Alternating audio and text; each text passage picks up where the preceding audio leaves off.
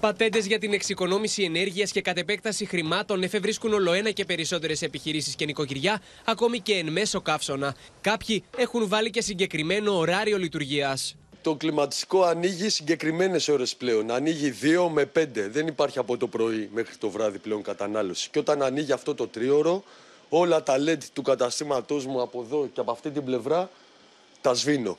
Για λόγους οικονομίας φυσικά. Άλλοι πάλι κρατούν κατεβασμένους τους διακόπτες στα μαγαζιά τους, ακόμα και αν ο φυσικός φωτισμός δεν είναι επαρκής.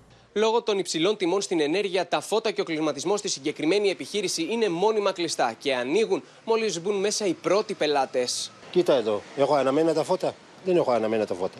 Α να σκάσω από το κάψο. Αλλά μην σκάω από τα λεφτά να πούμε που πληρώνω. Μπορείτε να βάζω εδώ για να μπορώ να μαγειρέψω κιόλας. Ακόμη και τώρα που η θερμοκρασία έχει χτυπήσει κόκκινο, η οικονομία στην ενέργεια προέχει. Κάνω οικονομία στο ρεύμα. Δεν βάζω πολλά πλυντήρια. Φλένω στο χέρι.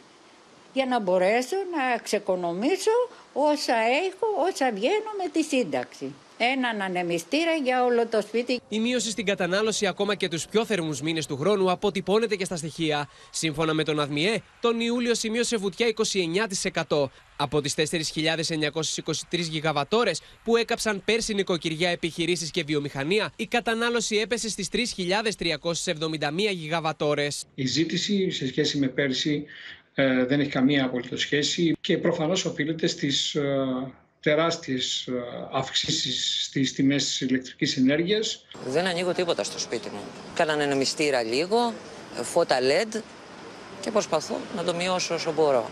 Κάποιοι για να αντιμετωπίσουν τις υψηλές θερμοκρασίες, αλλά ταυτόχρονα και τις υψηλές τιμές, αποφάσισαν να περάσουν κάποιες ώρες αυτές τις ημέρες του καύσωνα σε κλιματιζόμενους χώρους δημοτικών κτηρίων. Εκτός που έχουμε παρέα, ε, δεν έχουμε και air condition στο σπίτι αναμένα και τα λοιπά, που είναι και αυτό μια λύση. Air condition δεν βάζω. Ανεμιστήρα. Και ευελπιστούν ότι αυτό θα είναι ο τελευταίος καύσωνας του καλοκαιριού.